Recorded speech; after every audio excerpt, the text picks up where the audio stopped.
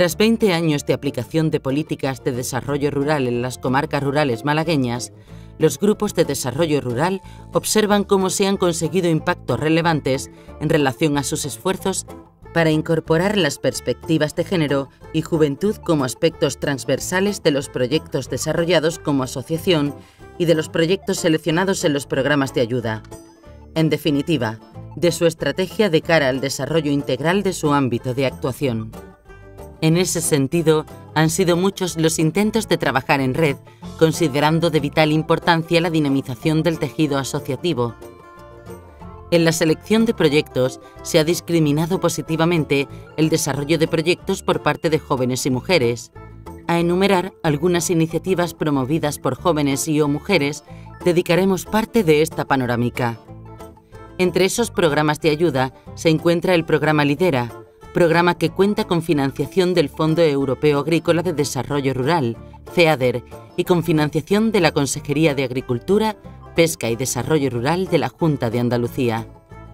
Realizamos en los siguientes minutos una panorámica de las experiencias narradas que destacan por el modo de abordar las prácticas que presentan impactos en materia de género y juventud en las comarcas rurales malagueñas narración que se ha producido en el marco del proyecto de cooperación, evaluación del programa Lidera en la provincia de Málaga, proyecto en el que participan los grupos de desarrollo rural malagueños.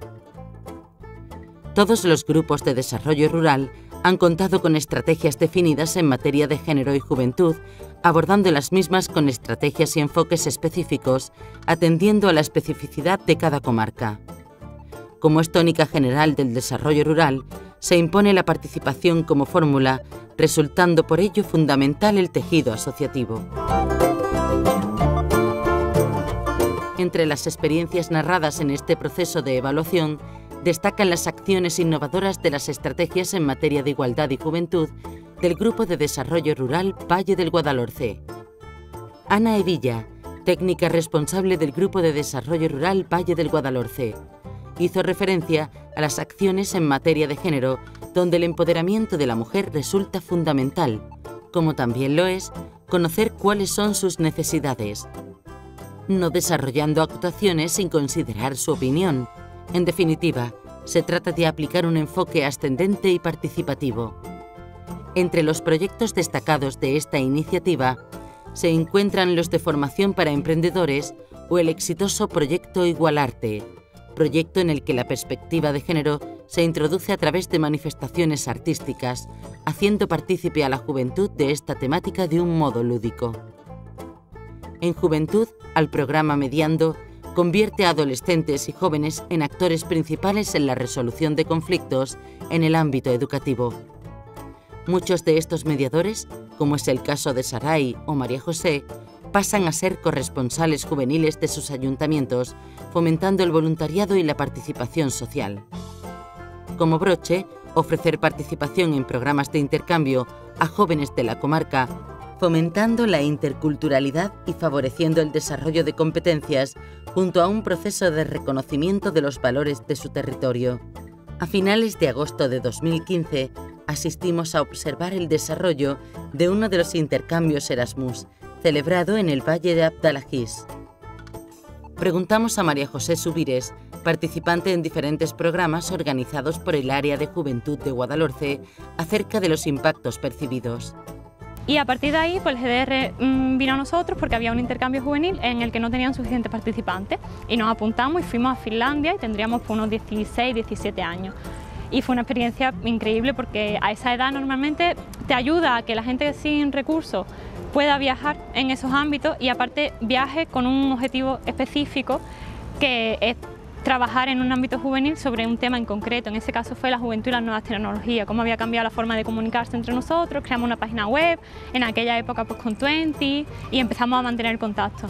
Esta estrategia es una muestra de las diferentes estrategias desarrolladas en los diferentes grupos de desarrollo rural. La promotora Marta Luque, concesionaria del Centro de Visitantes de la Laguna Fuente de Piedra, se refiere también a otro proyecto desarrollado en el marco de cooperación propiciado por las áreas de género en los grupos de desarrollo malagueños. Con lo que es aquí en la comarca, el grupo de desarrollo local, Eh, a través de ellos pues se hacen actividades eh, a lo largo del año y algunas, muchas de ellas están relacionadas con el tema del medio ambiente porque se generan actividades que también para personas para que eh, sepan de, lo que hay aquí pero también pues a nivel sobre todo yo que estoy metida en una asociación de mujeres pues hacemos lo que es género, ¿no? Eh, hemos tenido todo, bueno, prácticamente son todos los años los que tenemos a lo largo del año una serie de actividades. En concreto, este año pasado, pues hemos estado haciendo una de dar conocimiento de todos los espacios que tenemos aquí. Entonces, cuatro asociaciones que hay en la comarca que están interesadas por este proyecto pues hemos estado visitando espacios que no se conocían, ¿no? como podría ser la parte del Caminito del Rey, el Torcal de Antequera, eh, Fuente de Piedra y Montes de Málaga.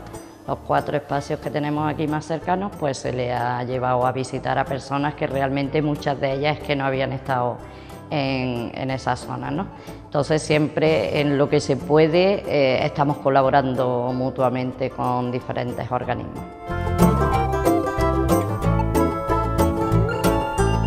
Además de las estrategias formuladas a nivel comarcal, resulta interesante observar cómo se contempla la perspectiva de género y juventud en la promoción de los proyectos narrados en este proceso de evaluación. Comenzamos esta revisión por la comarca del Valle del Guadalhorce.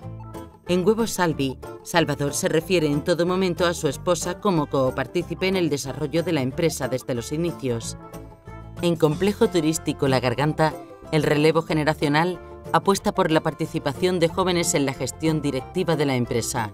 En Muglu nos encontramos a dos jóvenes egresados universitarios que emprenden un proyecto innovador tras ganar un concurso universitario de ideas empresariales.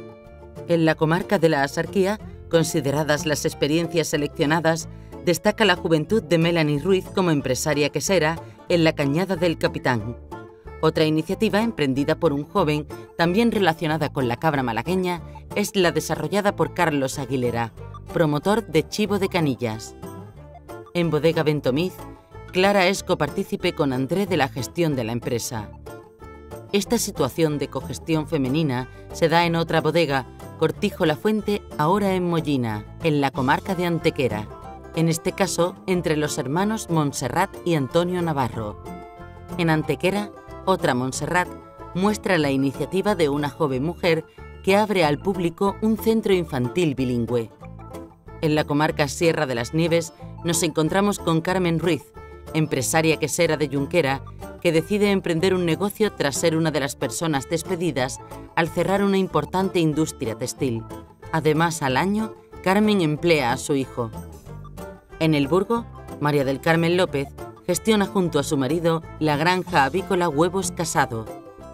También destaca el papel de mujeres y jóvenes en las recreaciones históricas que se desarrollan a lo largo de la comarca. Por último, en la comarca nororiental de Málaga nos encontramos con la juventud de la promoción de Molino de Madaura, empresa dedicada a la oferta de actividades de turismo activo y de naturaleza en Archidona. En Villanueva del Trabuco en Cárnicas Hermanos Martín, ámbito de actuación de Nororma, Jesús Martín nos habla del papel de la mujer en su empresa.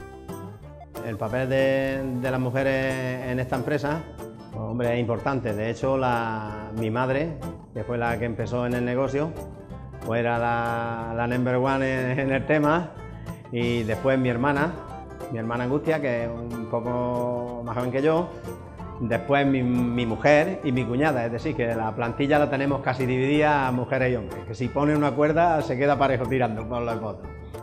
Esta es una selección de ejemplos que sirven de ejemplo para mostrar las estrategias e impactos en materia de género y juventud de las iniciativas que han sido beneficiarias del programa Lidera en las comarcas rurales malagueñas programa gestionado por los Fondos de Desarrollo Rural Malagueños dentro del eje 4 del Fondo Europeo Agrícola de Desarrollo Rural, FEADER.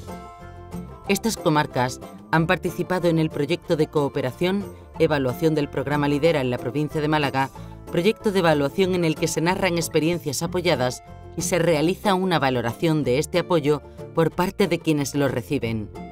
Gracias a estas experiencias narradas en primera persona por quienes promueven los proyectos, conocemos las características singulares de los proyectos apoyados y los impactos que los mismos generan. También resulta fundamental la valoración como persona o entidad beneficiaria del programa Lidera. El objetivo es narrar el desarrollo rural para comprender a través de realidades el alcance de una política que desde su origen resulta específica y genuina para cada uno de los territorios en los que la misma se aplica.